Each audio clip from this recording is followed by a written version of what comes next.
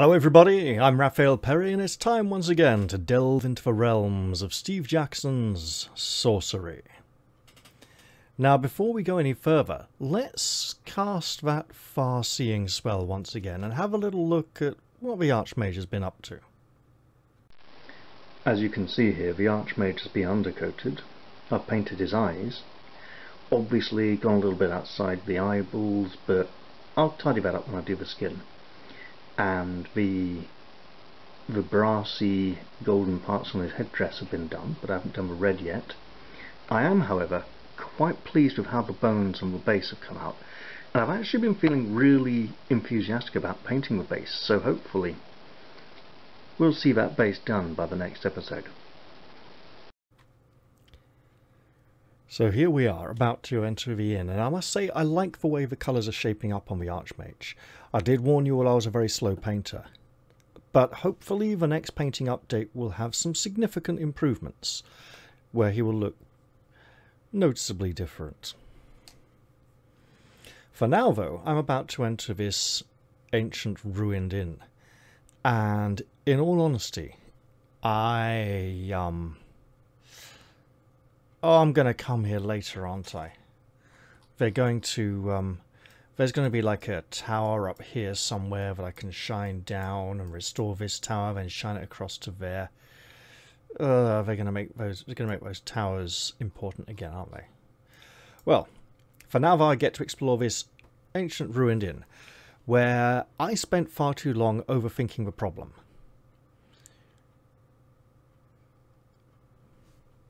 Let's step inside. Also, I'm dressed as a monk, so I need to be asking myself, what would a monk be doing in the citadel of Mampang? Because I need to be acting like one so as not to arouse suspicion. The same goes for any other disguises I may find along the way, and I have been informed there are actually four disguises I can find in this book.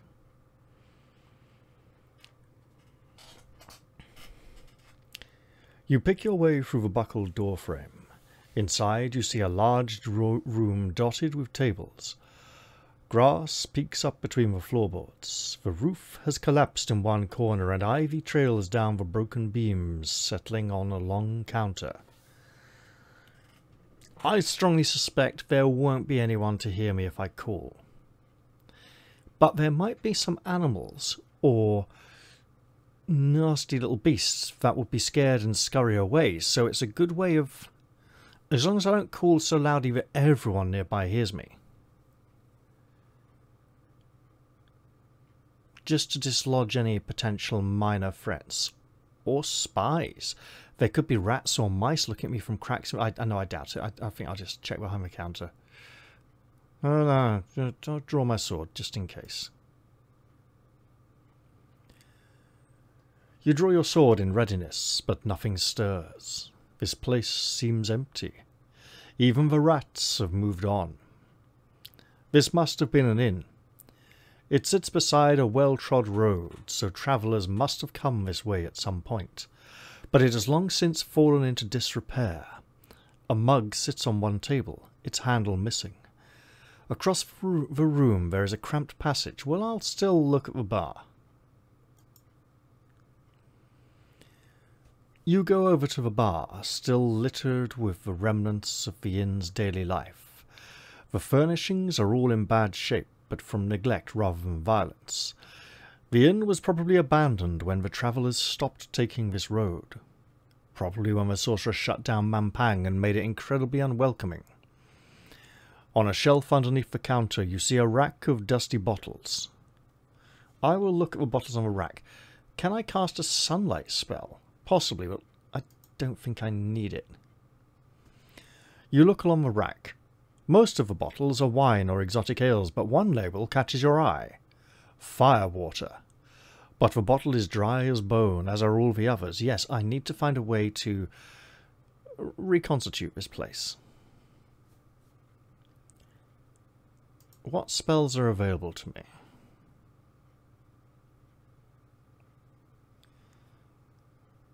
Tell? Nice idea. Whose minds would I... Does it scan for surrounding minds, or do you need to direct it at a Safe passage. The place is old and probably falling down. Doc! Well, if only my potion had not been wasted.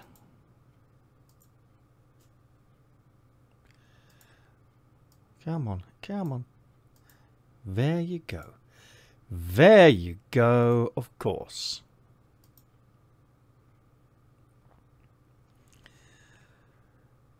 This is less for future and more for past, I believe. You settle into a sitting position on the ground and take out the orb of crystal. You weave the spell, and suddenly you find yourself somewhere quite new. You see the tavern, but in good repair. A few travellers sit at tables, sipping drinks. You watch the door open and a young woman enter in, soaked through. The landlord beams at her. Awful night, yes? You headed for to the fortress? She nods. Yes, I am to study. My name is Valaquesh. That's probably Valakesh, but there's a QU, so I'll keep listening. I'm not going to introduce myself. They'll notice I'm here. And I'm supposed to be viewing secretly, spying, learning what I can. You stay quiet and listen. Oh, good, good, replies the landlord, cheerfully putting an arm around the young woman. Plenty stay here on their way. Few return, but never mind that. Come in and rest. If you leave early tomorrow, you will be there before sunset. The vision fades as the woman accepts a bowl of stew. Was this an echo of the past or a happier future? It could be both. I'll have a search around and see what I can find. You make a quick search of the corners and rubble piles, unearthing a mouldering piece of paper and a few coins. I'll examine the paper. The coins aren't going anywhere. The paper is flimsy with age, the writing faded. You only manage to make out a few lines. The beckoning finger welcomes you, sorcerer, to the last resting place before the fortress. A hot meal is two bronze pieces and a cup of ale, and comes with a cup of ale. Bread and cheese are one bronze piece. It seems unlikely the prices are still valid, however, and there are no beacons here to help you rebuild the place. But I could still pick up the coins and hope they aren't, like, covered with acid or something. Hunching over, you pick up the coins and examine them. They are very thin, bronze, green with age. On the one side is a simple picture of a bird of prey, talons outstretched. On the other, there is a profile of a hook-nosed man with a stern expression. There is writing along the edge of the portrait, but you don't recognize the language. I've got a spell for that. Are they simply ancient, or from a faraway land? But in your travels in the past, you have never seen a coin like this, or another portrait of this woman. Hang on. Oh, woman. The Archmage is a man. The hook-nose, yeah, I think so. Let's cast a spell. It's not law, but I think it begins with an L. I don't think that spell is available right now. Um,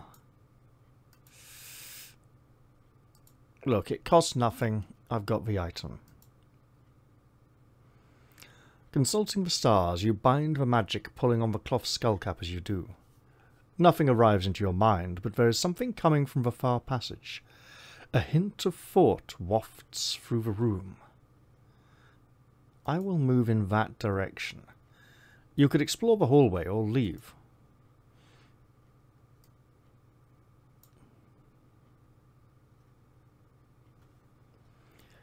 You make your way down the hallway. It leads to several back rooms, but most have collapsed, and now only the nearest two are accessible.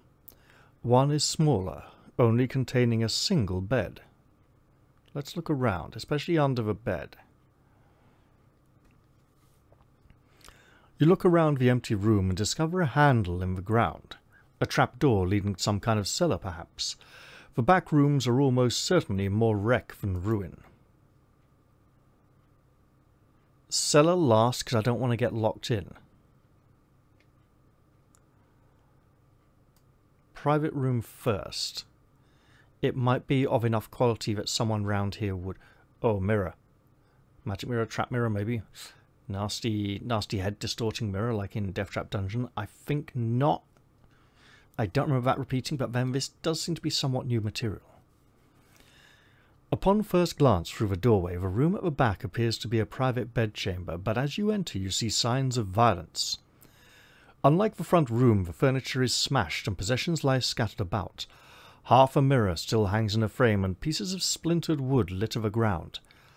Ha oh, one of the spells does require a mirror, but I imagine half of one won't be enough. Look in the mirror. You look into the foggy mirror, noticing how much the journey has aged you. Then, over your shoulder, you catch a gl glimpse of something movement. Something. Movement. Turn around. Bright eyes. Every now and then we need it. You whip around but see nothing. Interesting. Examine the furnishings. You peer at the smashed furnishings, picking up the leg of a chair. It all seems somewhat deliberate. You cannot think of a scuffle that would produce such an effect as this. It looks rather as if someone attacked the furnishings directly. I will look at the bed. The bed is the only thing untouched. On the bed, among the moth-eaten sheets, sits a note, and if I bend over, the invisible person who's only visible in the mirror might bash me one. Uh, let's risk it. You pick up the you pick up the note off the bed. You pick up the note from the bed. You pick up you pick the note off the bed. Just up and off together in the same sentence and read it. Horrors, it reads. Surrounded by horrors. I have discovered the tavern is haunted. I must flee. If you read this, heed my warnings. Run! Run now! A voice pipes up behind you. But it's fake, you know. I turn around. You turn around, but no one is there. Still the voice pipes up, this time from the hallway. He worked on that for a whole afternoon, it says. It sounds like a young girl.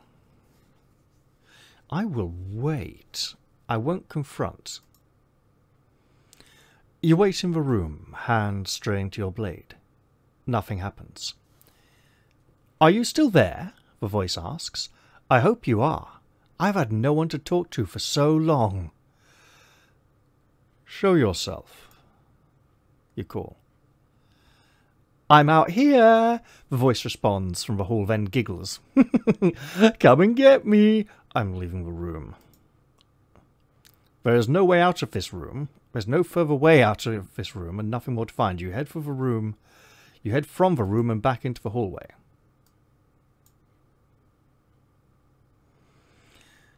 In the hallway, a young girl is standing, her hands clasped in front of her. Her flesh is slack and tinged green. One eye is missing, and her patches of hair are like straw. She smiles up at you, but her chest is quite still. She's not breathing. Clearly some kind of undead manifestation. The ghost dances from foot to foot. Terribly hard to write a note in our condition, you see, but he managed it all the same. He's stubborn like that. The furniture was easier. I helped a bit with that. She stares at you and a worm crawls out of her empty eye socket. It slithers across her face and burrows into her ear. She is not the first ghost you've met, of course, but she is somewhat worse, in somewhat worse condition than Lorag was when you met him at the gates of Kard. Who are you talking about? My friend Fildrick, she says. He's around here somewhere, though he sleeps more than I do, but I don't worry. Hmm, worry about what? Oh, us haunting or possessing you. Whatever it is you worry about when the dead walk. Neither of us mean any harm. Do you encounter many travellers? Of course I can't trust her. She's a ghost. Very few come this way now that the inn is shut down, but the few that do most avoid this place. I spy them hurrying by once every few years, when did the inn close? Time is difficult for me, but I remember the tall rock by the door was much pointier than it is now. You recall the one she means, though the tip of that rock is a smooth curve. It was simply the rain and wind where if it was simply the rain and wind wearing it down, she might be speaking of centuries or longer. The note said this place was haunted. You tell her. The note is a fake, but not that part, the girl replies. It is haunted, but we're not horrors. How did you die? You ask. Oh, it's too horrible to repeat, she replies cheerfully, but I'll tell you where, and she points a finger downwards. I'm not sure I deserved it. Is Fildrick dead too? He'd better be. Oh, yes, very much so. He died after I did, I think. Why are you haunting this place? I'm stuck here, she says. I cannot leave. A curse? You say? She wails, But why would someone curse me? I've never harmed anyone. Could, could, I could I ask you a favour? The girl says, the worm peeking out of her ear. Oh, it's got back round to the ear again. You may ask. but That doesn't mean I'm going to do it. You reply, I may not grant what you ask. Oh, that's fair, she replies seriously. But it's a simple thing. I've been trapped here for so long, but I believe you can help free me. Then a voice booms from the front room. Stop right there! Just then, a second ghost strides into the hall. I'll look him up and down. He is, or was, a well-built young man. A hooded robe, now ta in tatters, clings to his frame, almost like a more ruined version of the one I now wear. The skin of his arms is frayed like cloth in places, and white bone peeks through. You will leave, he shouts at you. Never return. To stay is to invite death. Didn't you read the note? Nonsense, the girl retorts. This mortal can help us. We will be free. I'll say nothing. I don't want to volunteer help. I don't want to... Yeah, just remain neutral for now. Fildrick ignores the girl and fixes you with a cold glare. Do not be mistaken, fool. You would do best to leave now. Why do you want me to leave? See, this would be the great time to cast a howl spell. Because the dead and the living should not meet. The girl rolls her sunken eyes. Only because you scare them away. I just want to talk to people, but you chase them away. Is that true? Fildrick nods. Yes, but only to prevent the girl from soliciting your aid. She wants to leave so badly, but we must not. Will you help us? The girl pleads, turning her big round eye sockets to you. Fildrick shakes his head. No, no, you must leave. We are the dead, and you should be afraid of us. Well, see, here's the thing. I am allegedly a powerful sorcerer, not a monk. In fact, if I am a monk, I probably shouldn't be that afraid of you. Or maybe I should. Ooh. What keeps you here? An old spell, the girl says, but a simple one. You are very knowledgeable for a little girl who said she never hurt anyone. The girl attempts to shrug. I pick things up, having been here for so long. A strange expression crosses Fildrick's face. You have been here longer than me. That is that true? I don't trust either of them, to be honest. Now I'm being forced to take a side. Right. This definitely feels like it's some kind of nasty trap. But it also feels like... Right. Upon, upon initial presentation, it seems like he is overreacting to the situation and stereotyping it. And she's saying, oh, come on, lighten up. We don't have to stay here. We should just be allowed to go free. But she's trying to get me to stay here and do something. And cast some kind of spell. Allegedly. Which she suddenly now knows all about. he could be trying to protect us from her, but not be very good at presenting himself, right? He might just, be, you know, not be very good at trying to put his ideas across and explain himself.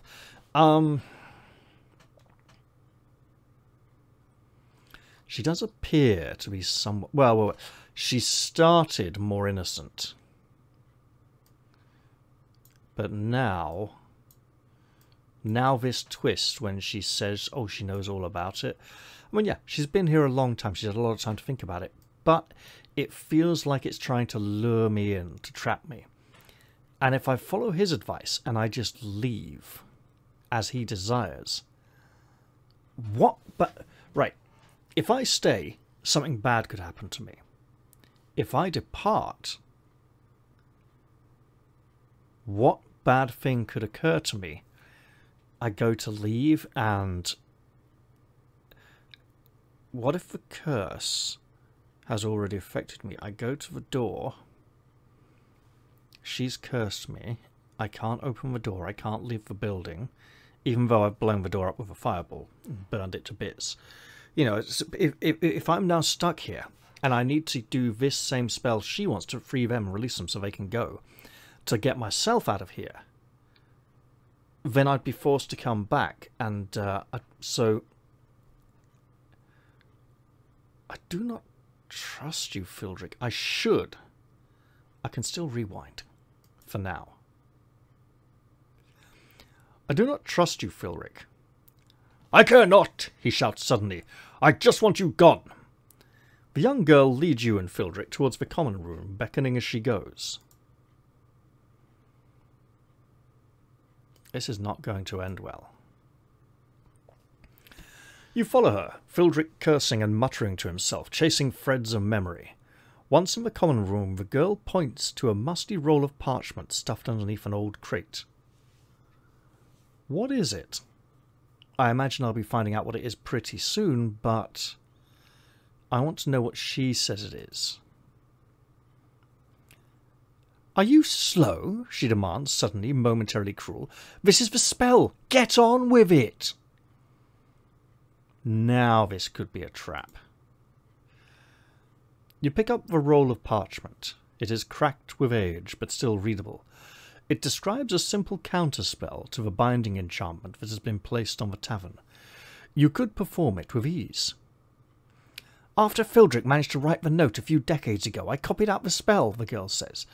The old one was useless and in the wrong language. Fildrick is becoming increasingly agitated. Why was it in the wrong language? And if so, how did you learn the right language? This eh, feels more like a trap. But how did you get it? A traveller left it behind, she says. Uh, highly suspicious. Fildrick shakes his head. That does not make sense. The counterspell would have been have to be tailored to the enchantment. It must have been created, but I cannot remember by who. Does it matter? The girl snaps. It will work, right? Will you perform it for us? The girl tries to yank at your arm, but her fingers pass through your elbow. Why do you believe this will work? You demand. The girl looks at you with bug big round eyes. It has to, she murmurs. It just has to. Ooh, I'd better see what I'm getting into here. You glance down at the spell, but it is a star graph and nothing more.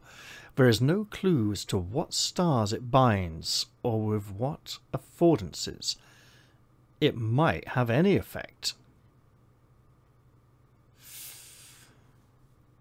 Mm. Seriously risky. This feels very long. This, as I mentioned, this does feel like a trap but I'm very much of the feeling that I've come this far and I might as well find out what it is. This is a feeling I cannot afford to indulge too much in the future, but I do feel at the moment, slightly, that I may still be doing a good thing. You nod. I will perform the spell, you say. You examine the parchment as the girl squeals with delight. No! Fildrick's voice fills the room. His rotten corpse now is tall enough to reach the ceiling. He looms over you, poised to strike. You must not break the spell! You will not!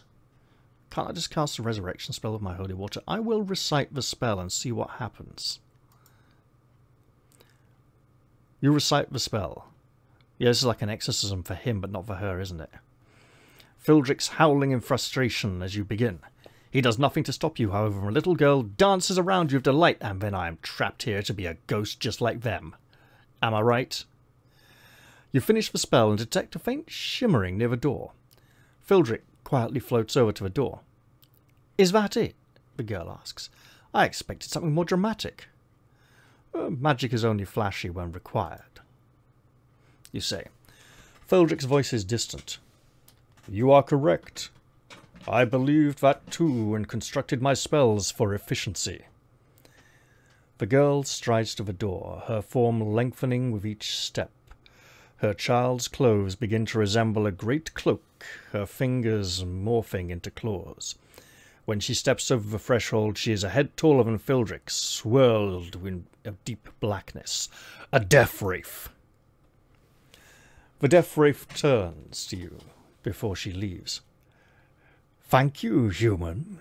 It has been far too long since I tore a soul from a still warm body, but your gullibility aided me, so I will reward you with your life. Fildrick chokes back a sob as the monster vanishes into the darkness. I was right. Yeah, I thought so. I thought it was sus.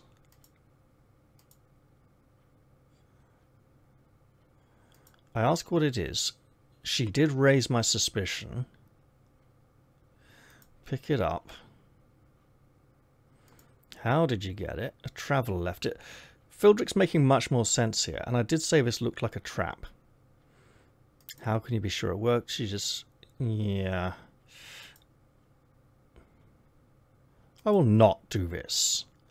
Fildrick breathes a sigh of relief. The girl pouts. The corners of her mouth begin to droop past her chin. The room is cooling suddenly. The young girl begins to elongate, limbs blending into the shadows of the room. Fildrick backs away, his ghostly form even more insubstantial than usual. Useless mortals, she says. Your kind are only good for one thing. Her voice grows jagged as she advances on you. I will cast a flipping spell, because I suspect I may be trapped in here. I got my sun gem, so, uh, yeah. Protection from magic. Nope. Well, why give me the first letter? It must be a secret spell. I don't know the rest of it. What? Okay, so I can make a force field. That won't last forever, however. Could pop a rock. Um, a Wraith rock, not ideal. Wool. Okay, password, uh, force field or invisible wall?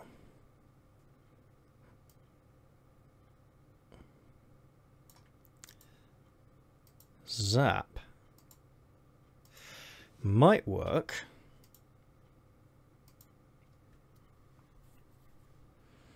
So, Foff, um,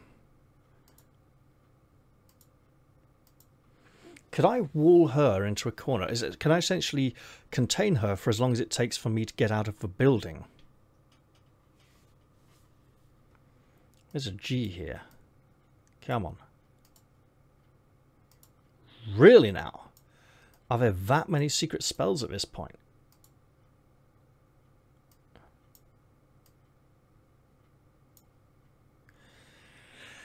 So, zap, pop, foff, or wall. Let's look at counters.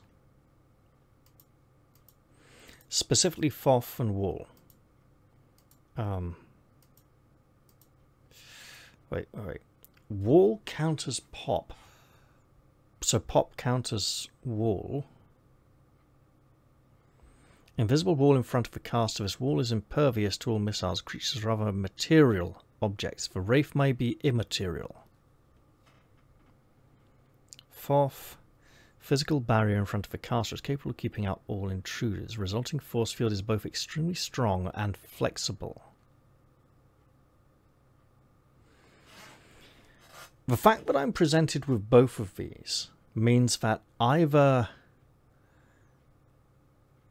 both will have the same effect or both will have different effects. If both will have different effects, what would the difference be? Right? Why would it matter that one would be successful and the other would fail? I'm getting a feeling these would both fail. This powerful spell creates capable of keeping out all intruders. It's a physical barrier, invisible wall in front of the caster. Um,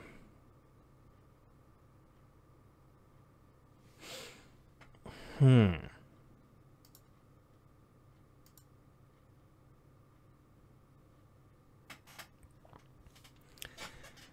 Um, I mean, I'll just run out of here, but she might hit me as I go. So, um, cast a spell. Sure. Let's examine these again. Right. This is likely to damage the building, which is more likely to hurt me than it is her, or the ghost of Fildrick.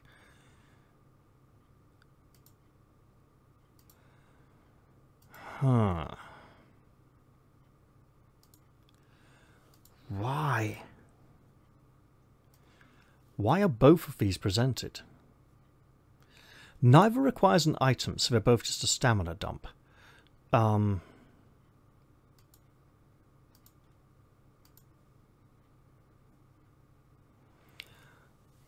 Don't remember. Death Wraith's like completely immune to magic or something. That would be weird.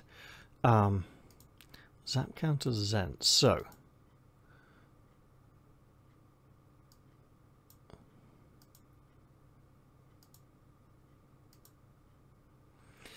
This feels like the kind of finesse situation. Well, it feels like raw combat is coming, but it also feels like the kind of finesse situation where a direct damage spell is the least likely to be effective. Foff or wall both feel wrong. Nothing from VH. Nothing from VM. I suspect there's some kind of secret spell I've missed here that I'm supposed to be used, which is VM or VF uh, VM or VH. So we got pop, foff, wall, and zap.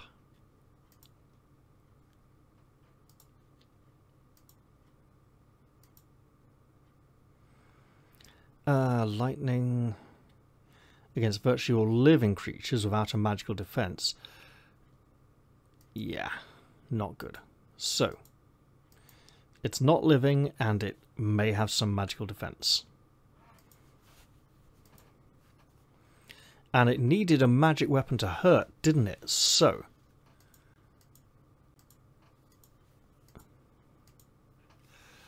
Thing is, why can't I cast magic protection? That's weird. Uh, calls for great mental concentration. The spell must be cast on small pebbles. Produces allows it make a loud bang, lots of noise.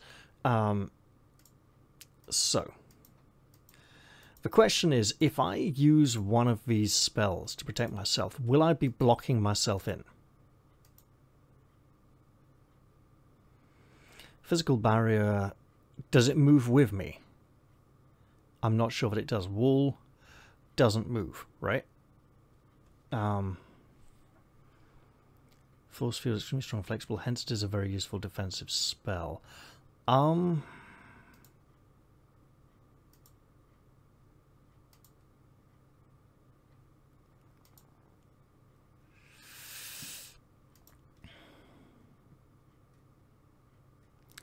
Well, let's read that again. Advances on you. Um,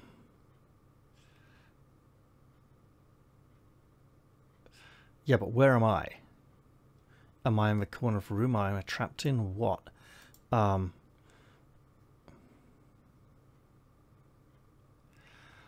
let's get really risky. Look, I don't have a lot of good options here. You cast a spell, forming a shimmering force field around your body. You should be protected from all but the most serious blows now. Okay, so it's like an armor suit rather than a... Okay, okay, okay. I'll attack. I hopefully still have the silver sword. You leap at the goal of your sword, but your slash goes straight through her. I literally have a better sword that could do a better job. Her fingers lanky and black are lanky and black, and brush your cheek. The touch burns like ice. Yeah, I'm out of here. You turn to flee, seeing Fildrick's pained expression. Go! he shouts. As you near the door, the girl reaches out with impossibly long limbs to grasp your arm.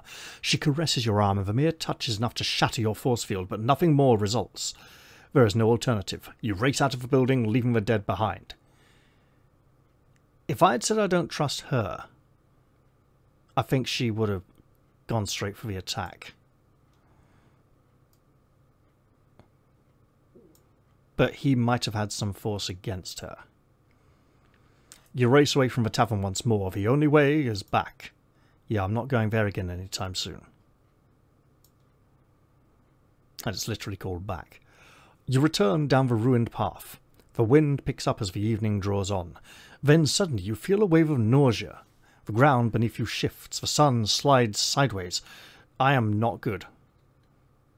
I've been touched by a death wraith. This cannot be well. Cast a spell. You reach out your arm to cast a spell when you fall. The world rushes past you, further than it should. You hear a woman's voice singing gently above the sound of lapping waves. What magic is this? No. Back in book one. Waves lull and wash towards a shore. Lapping water. This is messed up. You lie on a bed of stones looking up at the bright sunlight. Where am I? This is not High Xamen. A feeling of dread creeps over you. What kind of trap is this? How far have you travelled? I will stand up. You pick yourself to your feet, woozy as though you have been asleep for some time. Greetings, murmurs a voice, warm and welcoming. We have travelled a long way together, you and I. Who are you?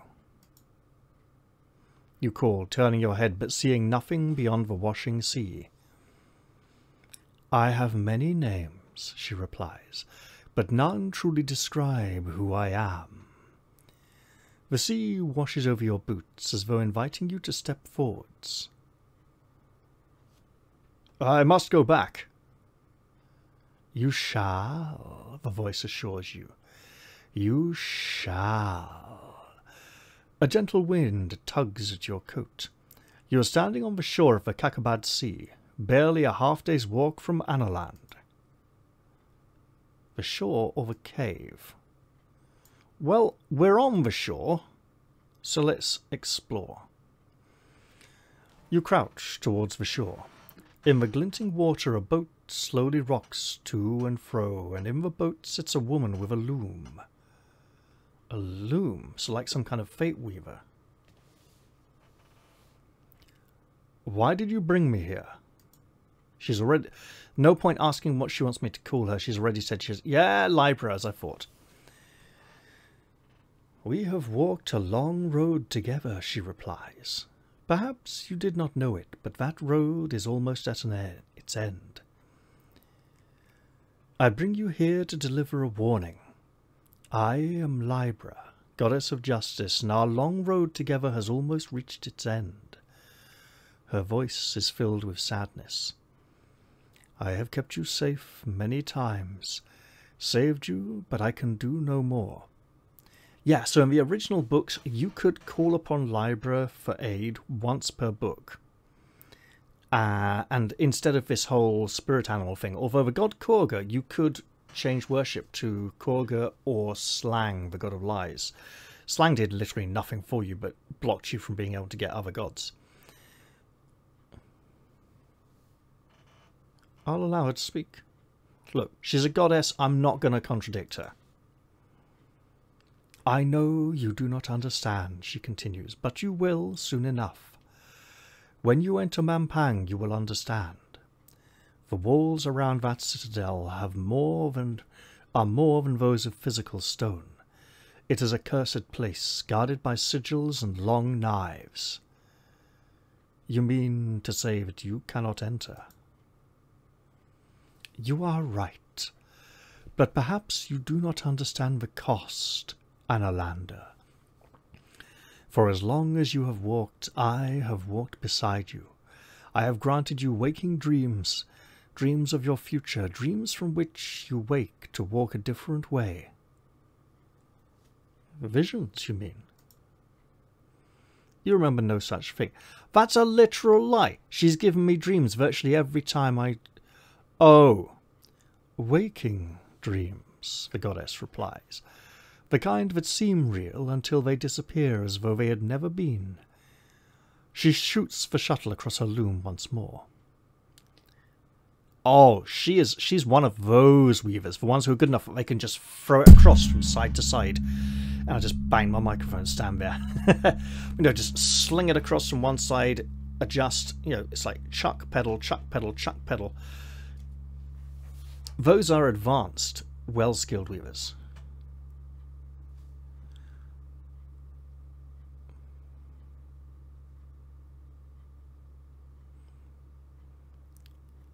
But no more.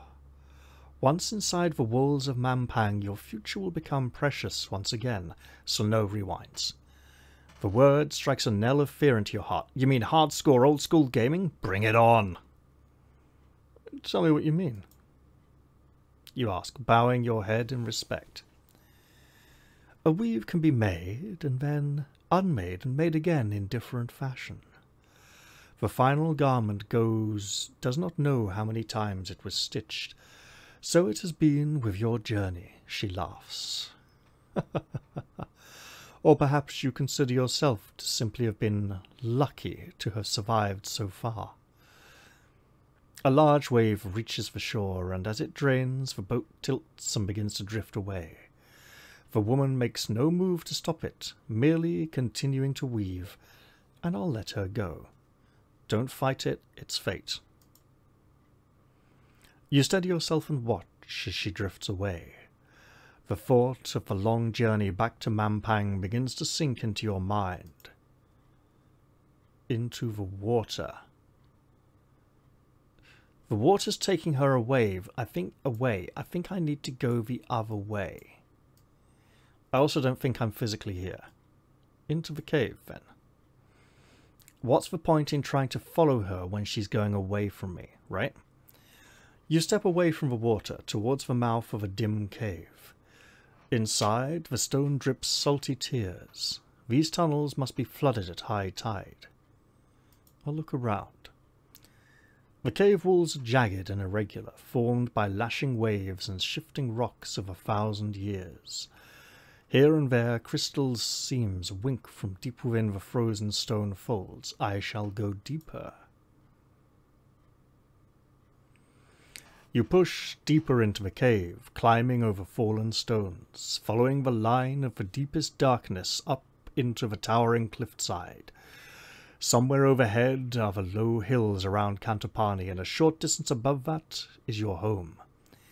You climb higher still, upwards into the rock, then something in the distance begins to roar and moan. You are not alone in the darkness. I will cast a spell. Ah, here we go.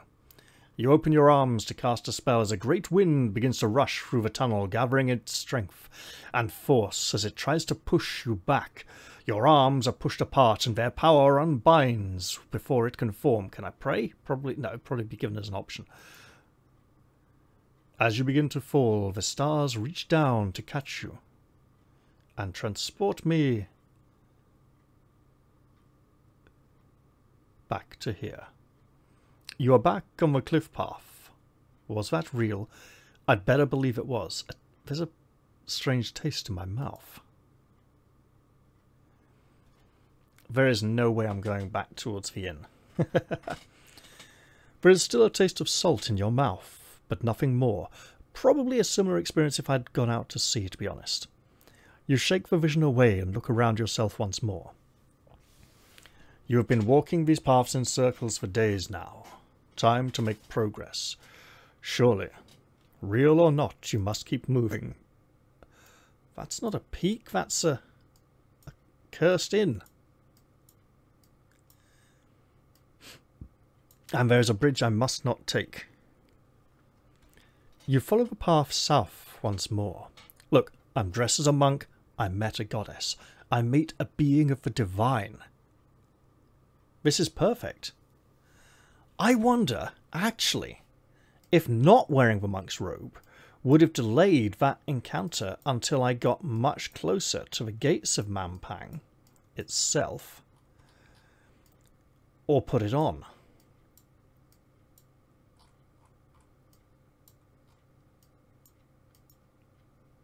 Probably not, but it does feel oddly, you know, thematic. You follow the path southwards once more. The chasm yawns open on your right hand side. The sun has almost set and the sky has turned a deep purple. There's smoke on the water, probably some fire in the sky somewhere. It will be night soon. A narrow rope bridge leads south across the ravine from here. And I will not take it. I will not. Do not cross the bridge. It's like Aladdin's cave, you know?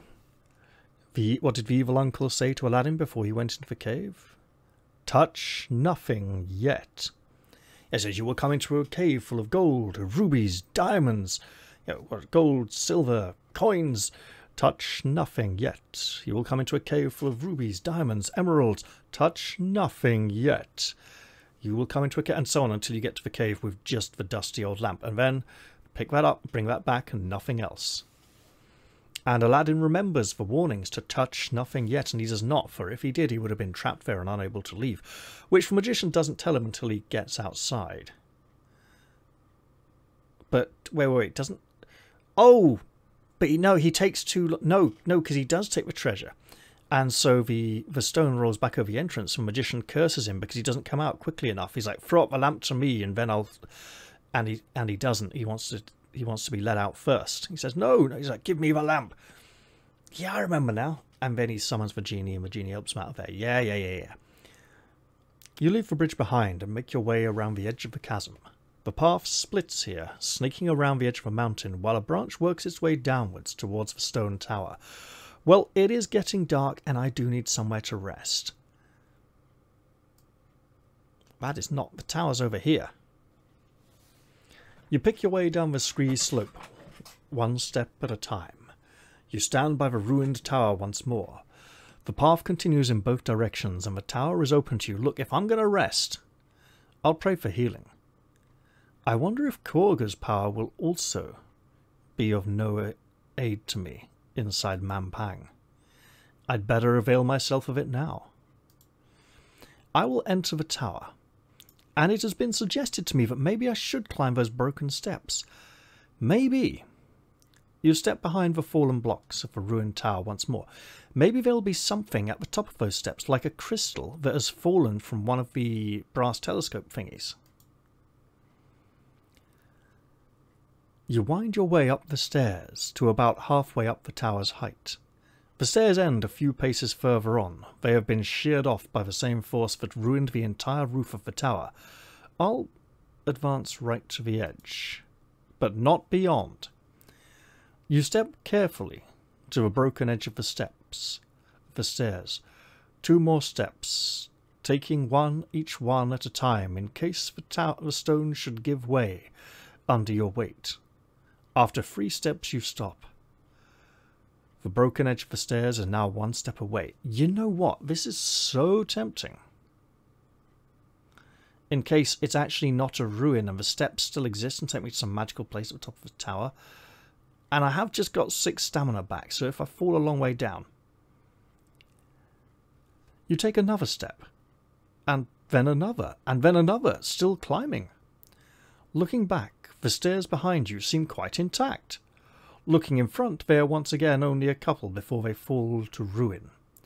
And yet, with every step you make, it seems more steps appear. I'll be watching them. Did, did you get that? You know, I'll be watching you. Was that a little bit too um, vague? Hmm. I will walk up the stairs and see where they lead. You pace step by step up the tower, spiraling around and around until finally you reach a trapdoor in the non-existent roof. This is so sus. You push the trapdoor open and step out onto the roof of the tower. I'm literally going into the past here. The wind whistles past your head, ruffling your hair. You are standing high above the pass, atop a tower that was not here when you passed through the path below. I will look at the tower. A brass beacon of the kind you have seen before stands here. There is a faint shimmer of magic in the air here. You know, I could restore the inn and go and rest there, but I don't have enough money. At first glance, the beacon seems quite intact, but there is no light shining from it now. You step away from the trapdoor and walk out across the roof. Away from the trapdoor, walk across the roof. You head over to the edge of the tower, just by the end of the large brass lantern. I'll look out across the land. You look out across the land towards a deep crater in the earth that is split like a bleeding sore by a black hissing vent in the ground. No doubt this hellhole is the quarry used to build the city citadel that lies beyond. Look at the citadel. Obviously, it's, it's drawing my attention. It's obviously the whole big panoramic scene. Mampang itself dominates the skyline, enough to chill the hardest of hearts. At its top is a tower with a single high window, the Archmage's turret room. I wonder if I could shine the beacon on the gates, cause them to not exist, walk through and be inside. Probably not. I will now look at the beacon.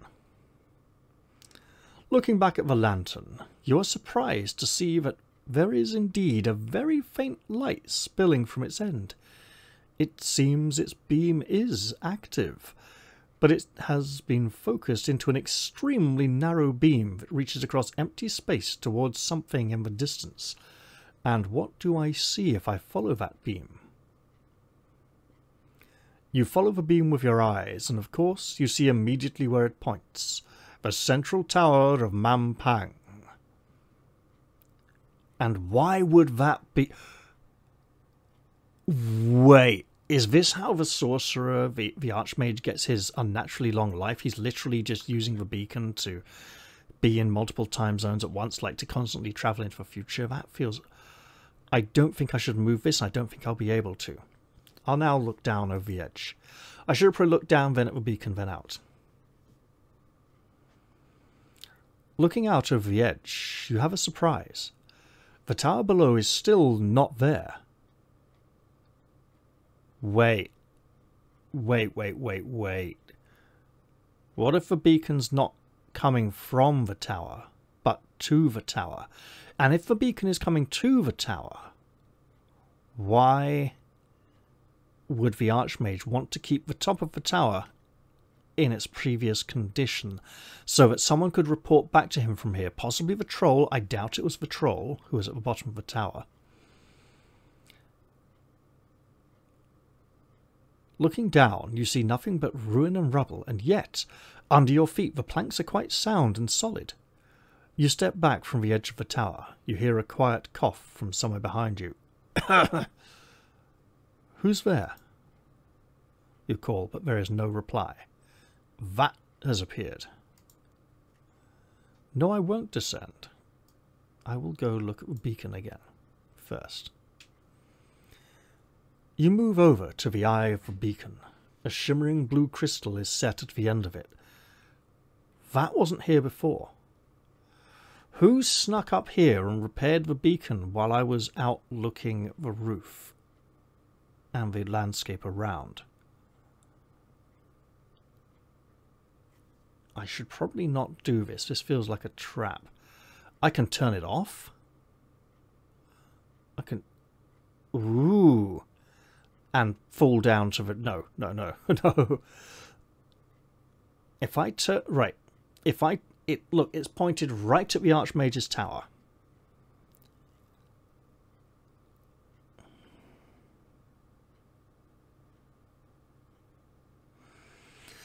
If I turn it away from his tower, he is going to notice. So I could go visit him in the past, find out why he's so scared of me, cause him to be so scared of me, come back and meet him in the future. Yeah, I should probably not mess with this. I could obviously go turn it to point at the um at the inn. Is this a state I'm supposed to change? Probably not. Look, I was just looking for somewhere to sleep, okay? And it's going all the way over here, up, up, up to here.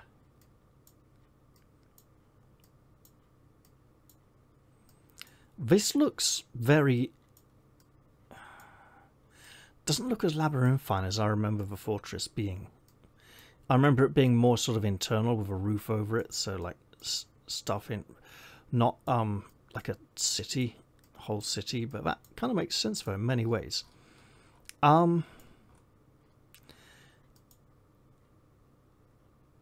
I feel that I can come back here and change things if I want to, but for now I should just leave it as it is.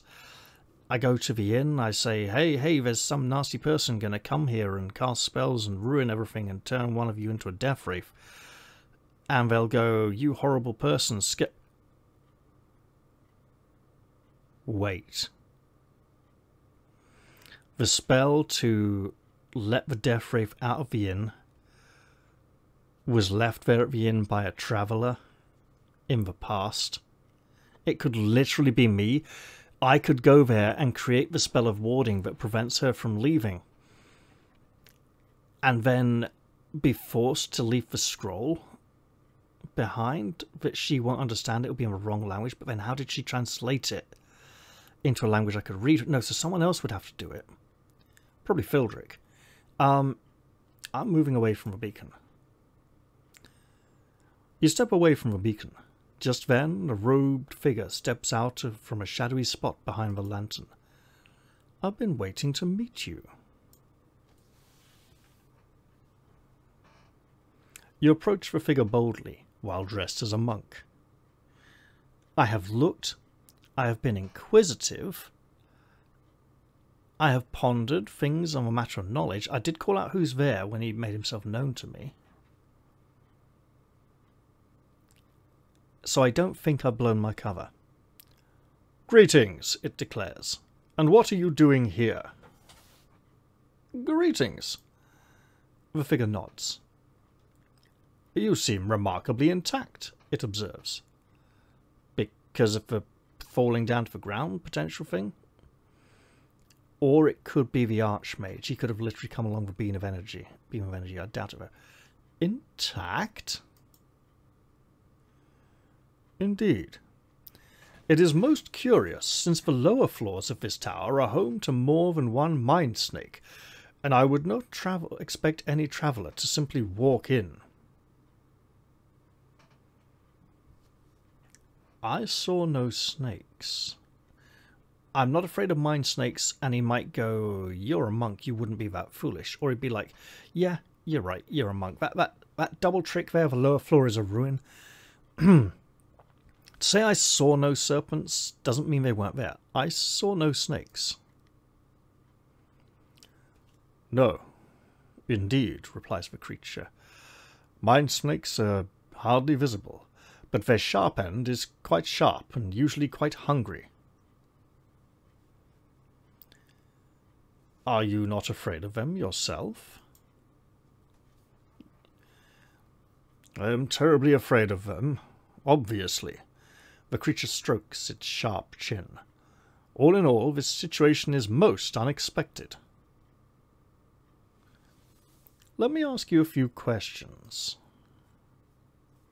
Indeed, the creature returns in some surprise. Indeed. I have seen beacons like this before. You tell the creature. This is the last of the great beacons built across the Baklands, the creature guarding the tower declares. They are lenses, and like all lenses they collect, focus, and deliver.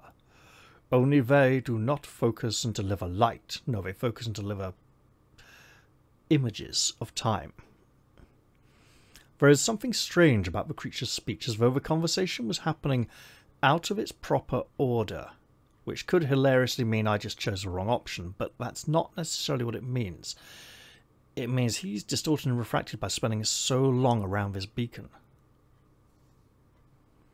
They focus time. Indeed, that is correct. You are funneling time to Mampang. You reply, For what purpose? For my master, the Archmage. He lifts a finger to his forehead reverentially. He desires immortality. It cannot be achieved, but extreme longevity is a close second. I don't need to antagonize this fellow. Where can I find him? That's pretty obvious, but... In his tower, of course. That is where this last beacon shines and where he sits to drink in the light. When I entered this tower, it was ruined. You explain. The watching creature cocks its hooded head and considers that with some interest. Remarkable, it breathes. I sense the truth in your words, though I cannot understand them. Perhaps I should summon a snake up here to test your assertions.